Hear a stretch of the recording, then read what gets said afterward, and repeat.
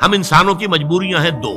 एक तो ये कि हम आमाल के ज़ाहिर पर हुक्म लगाते हैं। हमें बातिनी तो नज़र नहीं आता। हम किसी का दिल नहीं देख सकते। हमें नहीं मालूम उसकी नीयत क्या है।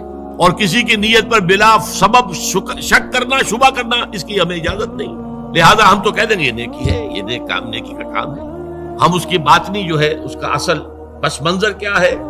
उसकी असल जज्बा मुहर्रका क्या? हम नहीं जान सकते। दूसरा मामला क्या है?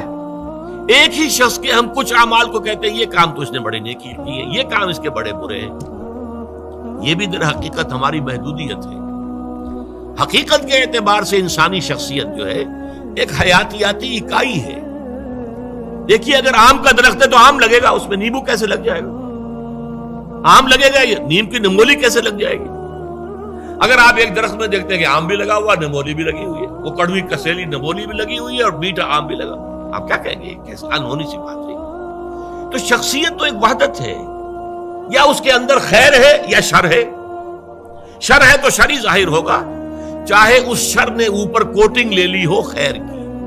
बजाहिर नेकी का एक अमल कर रहा है। लेकिन उस दरख्त का, उसकी जड़ से, जो शर की गजा उसे मिल रही है, उस एतबार से, उस अमल के अंदर शर है।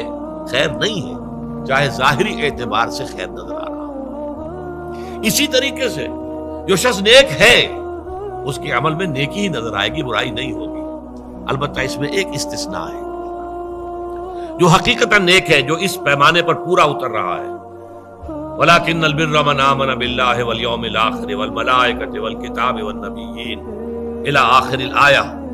जो शख्स इस पर पूरा उतर रहा है, उससे भी कभी वक्ती हालात के तहत वक्ती असरात के तहत कोई गलत काम सरसद हो सकता है।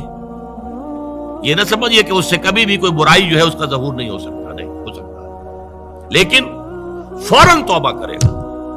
अगर उसके अंदर नेकी है, वो किसी बदी को मुस्तकिल तौर पर अपनी ज़िंदगी में अपने किरदार के अंदर जगह नहीं दे सकता। इसको आप दो और दो चार कितना जान लीजिए। वक्ती आलात है, वक्ती असरात पड़ गए हैं। या जज्बात का कोई तूफ़ान उमड़ आया है वक्ती तौर पर? और उसमें जो है आदमी से कोई गलत सरदस नज़र हो गई है।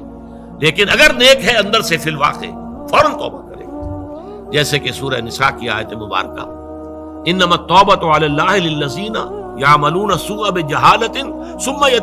मिन अल्लाह ताला ने अपने जिम्मे लाजिम कर ली है ऐसे लोगों की तोबा कबूल करना कि जो गलती से या हालात के दबाव में, जहालत में, नादानी में कोई गलत काम कर बैठते हैं, लेकिन फ़ौरन तौबा कर। तो ये फौरी तौबा हो ये नहीं होगा कि बदी और नेकी का इम्तजाज मुस्तकिल तौर पर। यह नहीं हो सकता कि एक तरफ़ नमाज़, रोजा, ये सारा कुछ भी हो रहा है। दूसरी तरफ़ सूदी कारोबार मुस्तकिल तौर पर अपने अपने धंधे में शामिल ये नहीं।